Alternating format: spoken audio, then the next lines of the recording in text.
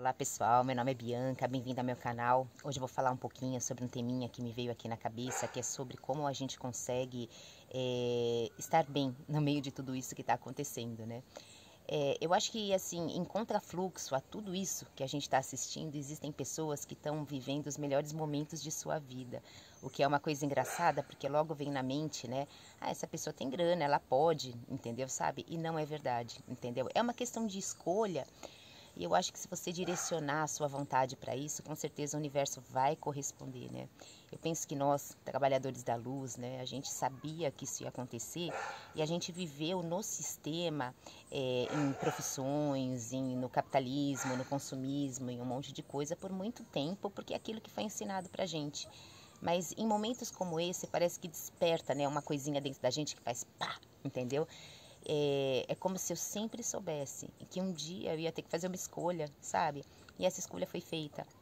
Eu penso que é, para você se desvencilhar né, do sistema o máximo possível, porque não dá para viver totalmente fora do sistema, a menos que você se torne é, uma comunidade, entendeu? Completamente sustentável e fora, entendeu? Com energia, etc. Mas mesmo assim, entendeu? Sempre você vai precisar de alguma coisa, um medicamento, alguma coisa que seja do sistema. Não dá para ser 100% fora. Porém, dá para ter uma qualidade de vida se você tiver um ponto de vista é, de desapego. O que está acontecendo, eu acho que nos grandes centros urbanos, é que assim as notícias, a densidade, entendeu? Eu não sei se é os benditos 5G, cara, eu não sei o que acontece, entendeu? Mas no, nos centros urbanos eu não consigo pensar com clareza. As minhas ideias, as minhas estratégias, elas ficam estranhas, entendeu? Ficam é, sabe, negativas, entendeu? E a minha energia vai sendo drenada, drenada, drenada e eu não consigo me sentir bem. Então é lógico, né?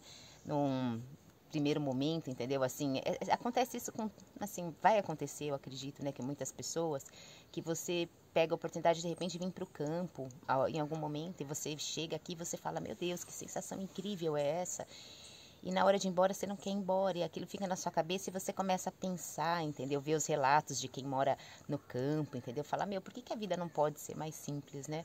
Foi mais ou menos isso que aconteceu comigo, entendeu? E aí você chega num momento onde você pensa se vale a pena, né, você sacrificar toda a sua existência, né, para ser sucesso, viver nos centros urbanos, entendeu? Você não teria uma ideia meio termo, inteligente, né, de não necessariamente morar num centro urbano, mas você pode prestar serviços no centro urbano, mas não estar lá o tempo todo, que foi o que aconteceu comigo, entendeu?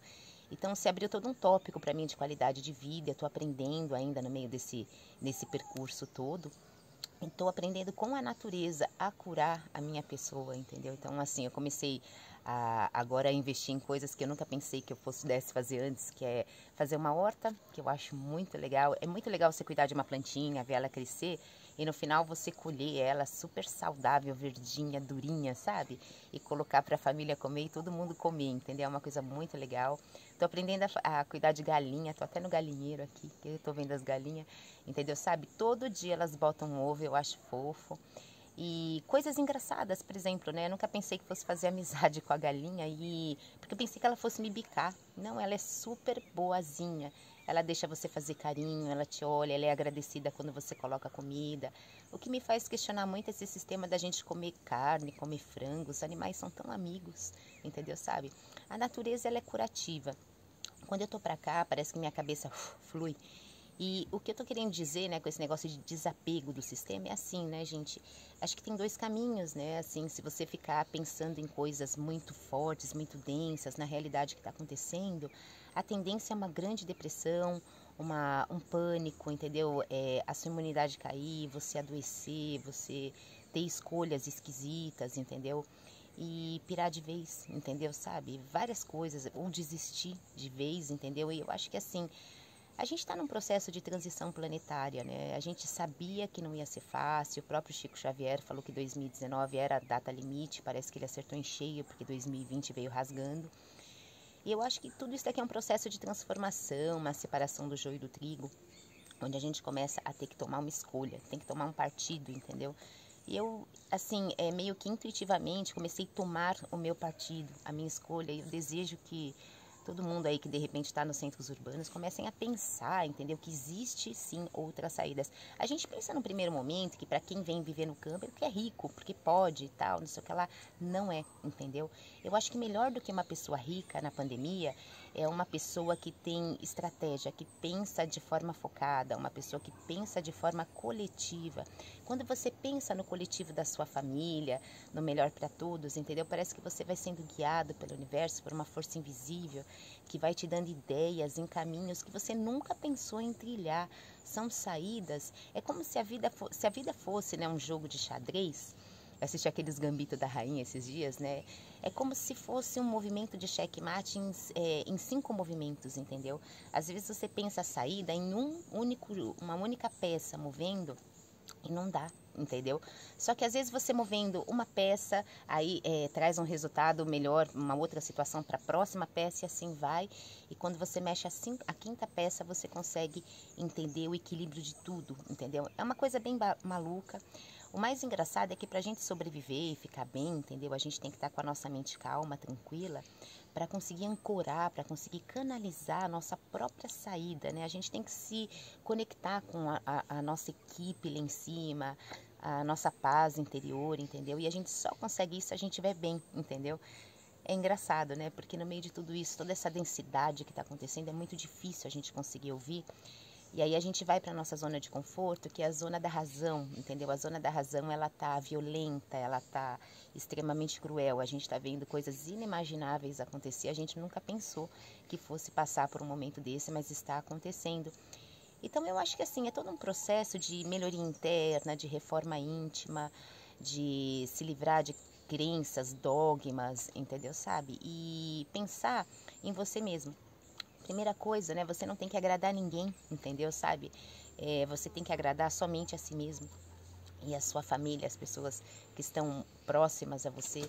Eu acho que você tem que seguir o seu coração e seguir o vento do universo, entendeu? E aí a coisa vai, entendeu? Para se libertar do sistema, por incrível que pareça, né? Se você tem uma parcela de casa, se você tem uma prestação de carro, se você tem um empréstimo bancário, chegou a hora de você começar a pensar o como é, baixar o seu custo fixo de forma drástica, entendeu?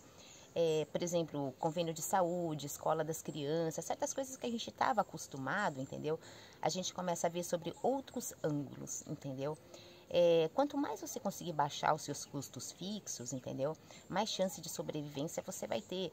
É, e sobrevivência é, é, psicológica, entendeu? É, é menor a pressão e o medo de não conseguir honrar as contas e etc, etc, né? Num primeiro momento, para quem vive de aluguel, entendeu? Eu recomendaria, né, caso esteja muito duro aí, entendeu? É, procurar aluguel, um aluguel em outros lugares, de repente um, um lugar que ressoe com a sua essência, com a sua frequência, que seja no, no interior, entendeu? Que seja em, em sítios, em qualquer outra coisa, entendeu? Eu acho que vale a pena essa troca. Às vezes você pensa, ah, mas no campo não dá para viver. Dá sim, gente. Existem muitos trabalhos é, virtuais que se faz, é o bendito do home office, até de repente um projeto de YouTube que, hoje em dia permite, né? O Sparkle também, né? Que permite você ter uma renda, se você tem uma coisa para dividir com o mundo, de repente sempre você acha a sua tribo para ter novas rendas, né? De repente fazer uma loja virtual através do WordPress, entendeu? Que é um, um site muito intuitivo, muito bacana de você abrir um negócio e trabalhando ele com conteúdo bacana, entendeu? Você vai conseguir, você vai vendendo aí a nível Brasil alguma coisa que você tem afinidade, seja um artesanato, uma coisa que ressoe com a sua alma. Eu acho que brasileiro é muito criativo, né? Ele acha cada saída engraçada, entendeu? Eu acho que é isso que a gente deve seguir. Eu até brinco, né, que às vezes, né, você vai em São Paulo, né, tá mó sol, de repente começa a chover, aparece um monte de gente vendendo guarda-chuva. São essas pessoas que sobrevivem ao apocalipse, entendeu? Sabe, uma coisa muito louca. Então, acho que você tem que começar a pensar. Se você tem uma casa própria, ela está quitada, entendeu? É um apartamento próprio, eu acho que você tem muita é, sorte, entendeu? De de repente você pode ter uma escolha de vender ele, entendeu? E comprar, entendeu? Um imóvel num lugar onde te dê mais qualidade de vida e onde você consiga ter certas reservas para que nos próximos dois, três, quatro anos você esteja bem com um custo fixo bem menor, entendeu? Vivendo uma vida diferente, entendeu? Sabe?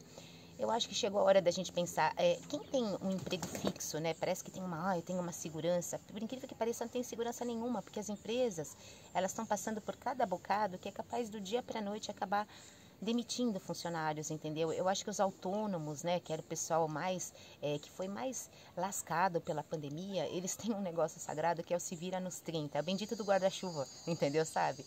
Que aparece, né, de repente, entendeu? A gente tem é, muita mais é, se, a gente jogo de cintura, a gente consegue se adaptar a outras coisas, fazer estratégias. Então acho que é isso que tem que ser investido, né?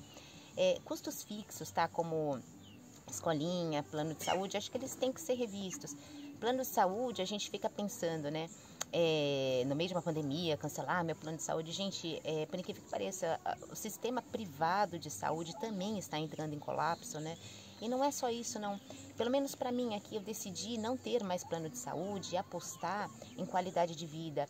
Eu cheguei à conclusão que se você tem uma alimentação saudável, uma vida saudável, uma vida com propósito, se a depressão e não faz mais parte da sua vida, aquele estresse elevado, aquela adrenalina, o seu corpo não adoece, entendeu? A natureza é extremamente curativa. Eu acho que se você está em conectividade com o seu eu, com você mesmo, entendeu? Sabe? Sem participar de bandos extremistas e religiosos. Não, uma coisa sua mesmo, entendeu? Você vai estar tá protegido. E a gente sabe também, né, que a lei de Deus é uma separação aí do joio do trigo.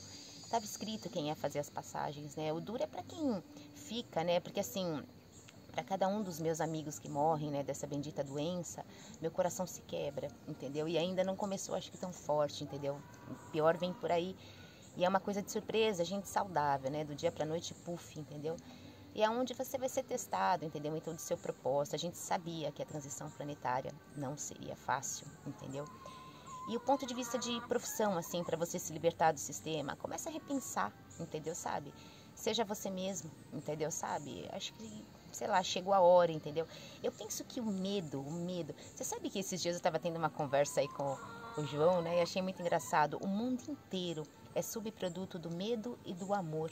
O próprio medo é subproduto do amor, entendeu? É, o medo é a ausência do amor, entendeu? É quando você tem medo de não ter amor e onde surge esse sentimento. Todos os outros sentimentos, eles variam apenas do amor. Então eu penso que o amor é a fonte criativa mais forte que existe, né? Você pensa no meio de tudo isso, sabe? Quando você entra num, numa forma, sabe, entra num drama tão grande assim de, de ver tanta notícia ruim, você começa, ai, ah, eu preciso respirar. Quando você se permite, você observa a natureza, observa o céu, observa tudo o que você passou até hoje na sua vida, coisas ruins, coisas boas, entendeu? Te trouxe as ferramentas certas para você fazer o que você tem que fazer aqui. Eu acredito que isso daqui, esse mundo material, entendeu? Não seja o final, entendeu? Não seja a resposta, entendeu? Eu acredito mesmo, entendeu? Na minha essência cósmica, energética. Eu já observei muitas coisas, muitos milagres acontecendo na minha vida, como se o tempo inteiro eu estivesse sendo protegida, como se a minha equipe estivesse do outro lado, entendeu? Sei lá. E é uma coisa gostosa, entendeu? Sabe, de se sentir. Quando você se entrega nisso, acho que as coisas começam a melhorar. Enfim, gente, mais ou menos isso. Eu desejo a todos vocês que cada um encontre a sua forma individual de manter a sua psique equilibrada, a sua energia boa, o seu propósito. Tenta não depender tanto do sistema, corta seus custos fixos. Eu acredito que isso daqui é, não, se, não, não vai parar aqui, entendeu? Digamos que a pandemia é um dos selos, entendeu? Dos selos, né? Das, das coisas, entendeu? Sabe? Haverão outros, entendeu? E a gente, para cada um deles, é, com amor, a gente vai fazer o que tiver que fazer, lembrando, né, que a morte é só um recomeço, entendeu? Sabe? A alma é eterna, entendeu? Eu acho que a gente tem que parar de ter esse ponto de vista de medo, parar de fazer essas escolhas individualistas por medo, entendeu? A gente tem que pensar num coletivo. Nós viemos aqui, não só a gente, vários irmãos cósmicos, entendeu? é, viemos aqui fazer um negócio incrível, uma coisa inimaginável, entendeu? Sabe que é a bendita da transição planetária. Nós somos os pacificadores, nós somos as pessoas que destoam no meio do caos por não ter medo e não de uma forma violenta e agressiva. A gente simplesmente não tem medo porque a gente sente no coração que ou tudo isso já aconteceu ou a gente veio fazer uma coisa legal aqui e existe um propósito maior que tudo isso, entendeu?